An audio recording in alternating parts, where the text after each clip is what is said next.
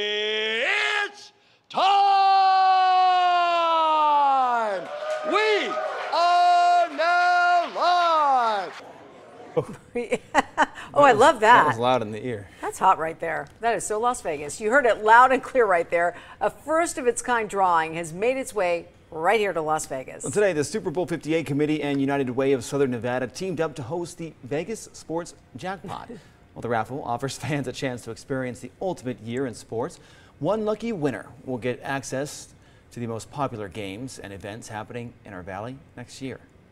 In concept, very, very simple. Every $100 entry has a chance to win a pair of sporting tickets to all the events that are listed on the website uh, when you go to purchase. It's hundreds of sporting event tickets throughout the calendar year 2024. Some tickets that you just can't get access to and buy, some tickets that you can, but you're going to have the entire season's worth. I love that. 23. Uh, this is a pretty cool experience here. Well, Joffray also says he hopes the experience of Super Bowl 58 in Las Vegas encourages more folks to come back for other future sporting events. We know there will be a lot of them. Yeah, we're just getting started, Oh, yeah. Joe. That